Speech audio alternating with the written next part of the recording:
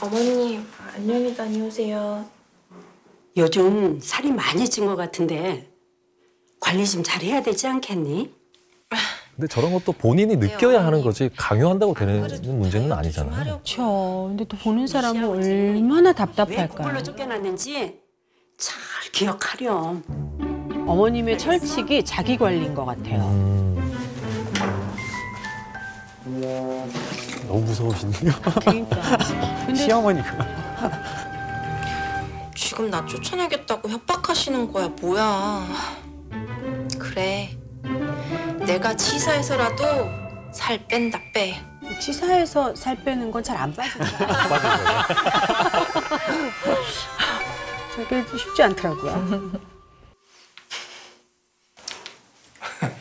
요즘 어머니. 식사하세요. 어 배고프다. 엄마 가요. 그러자.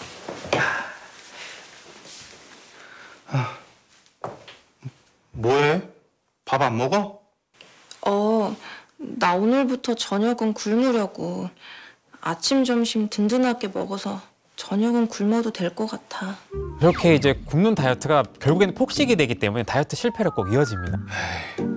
정말 괜찮겠어? 그래 잘 생각했다. 새끼 다 챙겨 먹고 살은 언제 빼니? 네, 어머니. 식사 맛있게 하세요. 아, 악수를 둡니다. 아 배고파. 아, 아 돼지갈비랑 냉면 한 그릇 먹으면 소원이 없겠다. 아, 최상의 궁합인데 저건. 아, 힘든데. 초코볼 한 봉지에 200칼로리?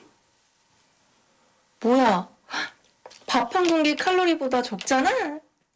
앞으로 저녁은 이런 걸로 때워야겠다. 어머나, 아, 어머나. 진짜 제일 위험한 저건데. 굉장히 당이 많아 보이는 식품이지.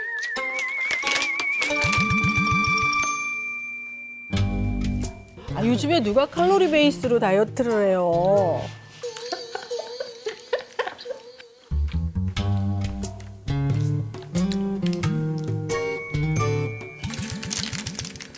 다 단 것만 먹네.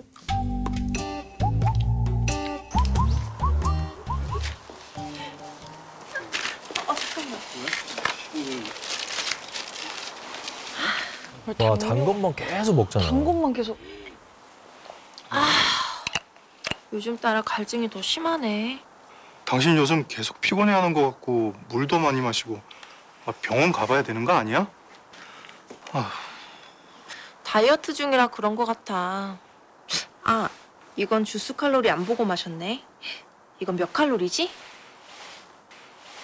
밥을 잘 안 먹어서 그런가? 요즘 눈도 침침하네. 앞으로 엄마랑 나 오기 전에 밥 조금이라도 챙겨 먹어. 안 돼. 나 이번에 진짜 살쫙 빼서 어머님한테 이쁨 받을 거야.